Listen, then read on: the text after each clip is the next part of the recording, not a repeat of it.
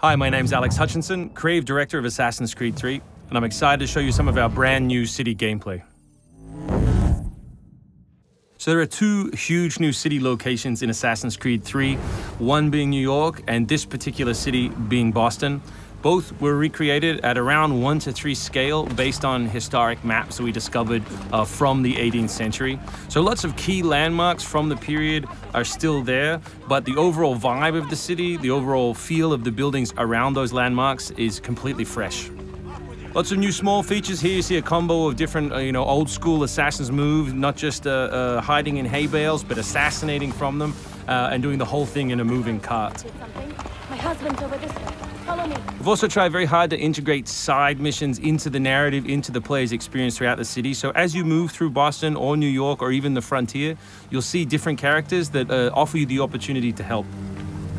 Hey, Lickspittle! Why don't you take yourself back across the pond? We've integrated stealth positioning into the game so you can sort of take cover against most walls or even trees, and then of course you can assassinate from those positions, just to help with general player acting and, and the sensation of being integrated in the world. You can also see here new moves such as the stalking zone, which are basically mobile hide spots that allow you to stay hidden.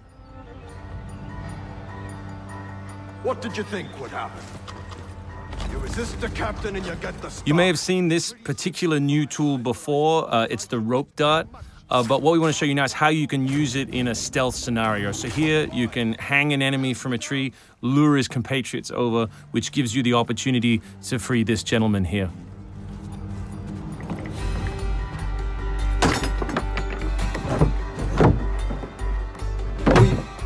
Thank you, sir.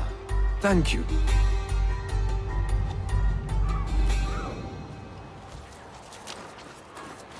Hey, you!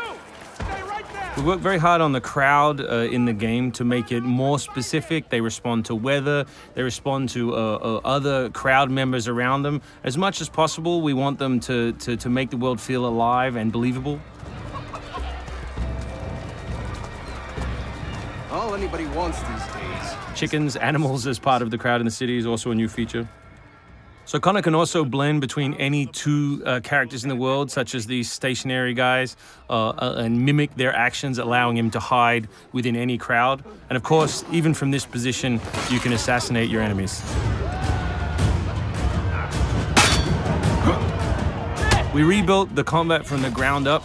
Connor is a dual wielding specialist, so all of his base combat uh, is using two weapons at the same time. Um, we work very hard on the flow of combat, so your goal as a player is basically to continue your kill chain by using appropriate moves. We've also built a bunch of new archetypes for the enemies with unique behaviors, uh, which you need to change your strategy in order to defeat cleanly and quickly. Uh, and we've also redesigned the health system. So now, uh, as long as you're in combat, health will not regenerate. There are no uh, magical health potions or other uh, assists. Uh, you need to complete your combat before you can regain your health.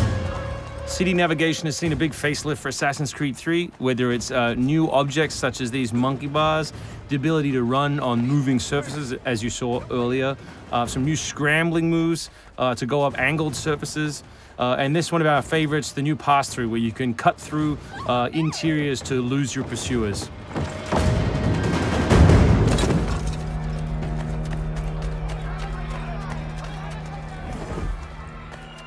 Although we had a rule when we started development there would be no retreads, no mechanics we'd built uh, in this game just because they'd been in the franchise before, we do like the notion that the assassin isn't always acting alone. So throughout the course of the game, you can acquire people to help you, uh, and we built a whole range of new behaviors that you can use to your uh, uh to better suit your assassinations. This one is calling in your buddies uh, who have disguised themselves as redcoats, which can allow you to pass through different choke points within the cities undetected. Well done, soldier. The captain will be very pleased.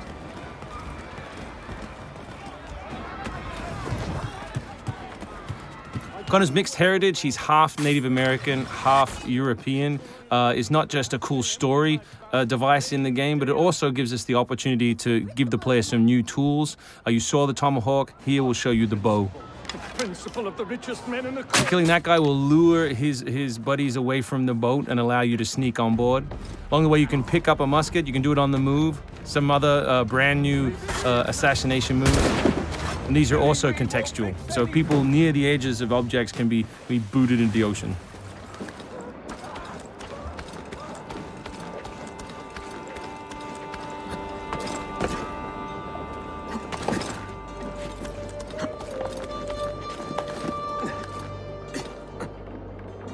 So we really hope you've enjoyed this first glimpse at some of the new city gameplay in Boston, and we look forward to showing you more in the coming weeks.